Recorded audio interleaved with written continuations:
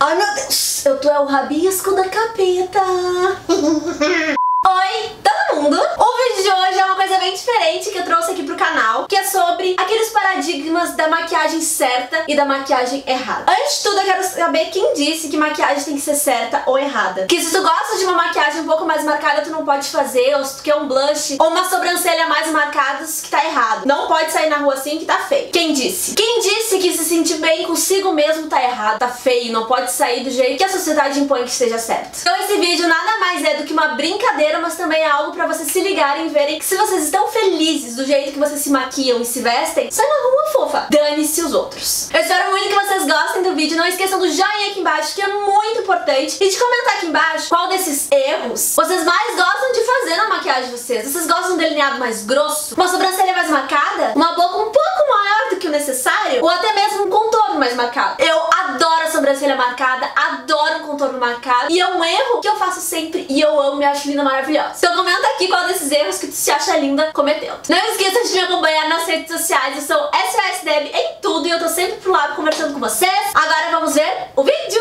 Então meninas, já botei um pouquinho de base aqui no meu rosto, é uma base, uma base um pouquinho mais escura que eu tô na minha pele. É essa base aqui, ó, espero que esteja focando. Eu vou espalhar em todo o meu rosto, só pra parecer que eu tô um pouquinho bronzeada, pra ficar esse ar mais... tô bronzeada, vim da praia. Pode espalhar pro rosto todo. Hum, na boca, em tudo. Deixei esse assim um pouquinho mais escuro, só que o tom da minha pele, só pra dar tipo, ah, tô bronzeada. Agora eu vou fazer a sobrancelha, vou usar esse quartetinho aqui da Dylos com pincel. Eu gosto da minha sobrancelha bem grossinha, porque eu acho que fica mais bonita e bem marcada. Só preencher, só preencher, seguir a linha natural da tua sobrancelha. Se quiser dar uma aumentadinha não faz mal, porque afinal, se a gente olha as atrizes, a gente vê a sobrancelha grande, marcada, bem bonita. Se vocês quiserem passar um lápis preto também dá super certo. Só cuidado pra não exagerar muito. Então a gente dá uma engrossada aqui na sobrancelha. Eu acho lindo sobrancelha grossa e agora tá super na moda. Daí eu venho até aqui na frente. Ai, gente, tá ficando lindo. Eu amo a sobrancelha assim, sabe? Eu acho que fica muito mais natural e bem pá, atriz de Hollywood. Agora eu vou passar uma sombra, depois eu vou passar o corretivo, porque se cair aqui a gente já limpa com corretivo. Vou usar essa paletinha aqui da Vult, super baratinha, vocês encontram lá na loja SOS Deb, eu amo essa paletinha. Vou pegar essa sombra aqui, bem pouquinho dela, e só vou depositar aqui no meu olho, ó. Vocês podem ver que eu não tô esfregando, eu só tô depositando. Veio desde o comecinho do olho até o final, ó. Super simples.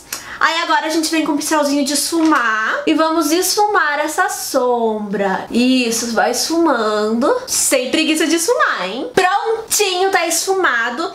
Agora eu vou pegar a sombra mais clarinha com o dedo mesmo pra iluminar meu cantinho interno do olho. Bem suavemente, pra não ter assim um choque muito grande de uma transição pra outra. Hora do delineador. Eu vou indicar pra vocês esse delineador aqui, que é maravilhoso. Eu recebi da marca da Maybelline. E ele é mais grossinho assim, ó. Vocês conseguem ver? é mais grossinho. E como é que a gente vai fazer um delineado? A gente vai usar essa pontinha aqui pra fazer um delineado mais grossinho, porque é mais bonito o delineado mais grosso. Então, vocês estão vendo o final da minha sobrancelha? Vem do final até a ponta do olho. Se borrar um pouquinho não faz mal, a gente limpa com depois corretivo. Vem do iníciozinho do olho, pega bem a raizinha do cílio. E aí, gente, é o truque de mestre. Pra fechar bem esse delineado, a gente vem da pontinha dele aqui e fecha. Depois é só preencher o que não ficou com delineador. Um estilo mais Wemine House. Agora eu vou pegar o meu corretivo.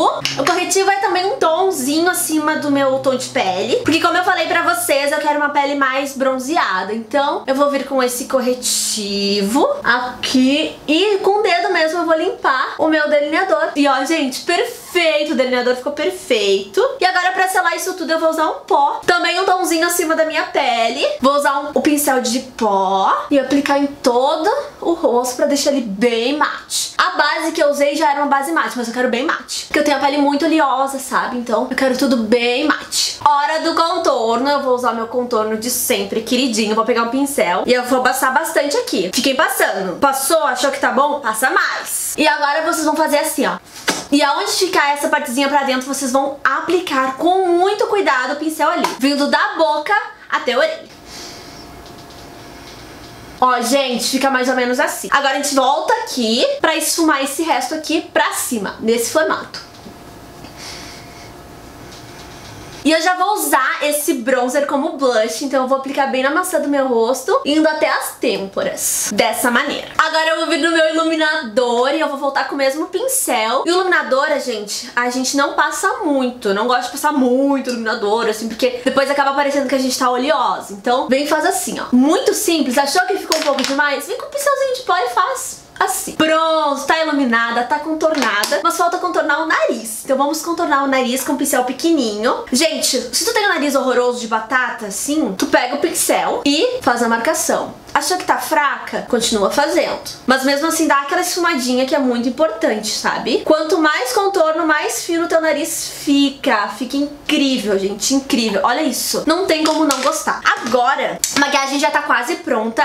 Eu vou passar rímel. O rímel é importante, mas eu não aconselho passar muito, porque empelota muito cílios e a gente não gosta. Então dá umas passadinhas e tá, ó, ai, ai, nossa, ai, eu tô dando meu olho. Mas tudo bem, Entrou dentro do olho, aperta bem o olho que já vai borrar embaixo. Borrando embaixo, mal precisa passar nos cílios inferiores, já fica linda. Ó, gente, tá gata, tá sensual, pronta pra conquistar o boy na balada. Agora a gente vai vir com um batom mais escuro pra gente poder aumentar os lábios e tudo mais. Eu vou aplicar um batom líquido, porque o batom líquido é muito fácil de aplicar. Vou aplicar esse aqui da Ricost, que é uma das cores mais fáceis de aplicar, que é a cor escura. Então sempre quando quiser aplicar uma cor, aplica a cor escura, que é muito fácil de aplicar. Então eu vou fazer um desenho novo na minha boca, porque eu gosto de desenhos novos. E como vocês podem podem perceber, eu vou dar uma aumentadinha no meu lábio. Eu espero muito que vocês tenham gostado, tenham entendido a brincadeira, não levem pro lado ruim, pro lado péssimo das coisas. Inclusive, esse vídeo é pelo contrário. É pra vocês verem que se vocês quiserem passar base um pouco mais escura, diferente do tom da, da pele de vocês, passem. Quem tá saindo com a cara errada é vocês, não os outros. Se vocês quiserem marcar um pouco mais a sobrancelha, marca a sobrancelha de vocês. Se vocês quiserem tirar, vocês tiram. Tem muitos vídeos por aí ensinando o lado certo e o lado errado. Não que isso não seja legal. Tu erra sempre, tu quiser fazer de uma outra forma, tu faz. É, é ótimo aprender. O problema maior é quando tu quer sim deixar algo marcado e as pessoas falam, tá errado, como se tu não tivesse espelho em casa e não visse. Compartilhe esse vídeo com as amigas, com os amigos, com todo mundo, com a mãe, pai, tio, tia, avó, sobrinho. E eu espero muito que vocês deixem aí, deixem comentários de vocês aqui embaixo, que é muito importante pra mim. Espero que tenham gostado, se cuidem e até o próximo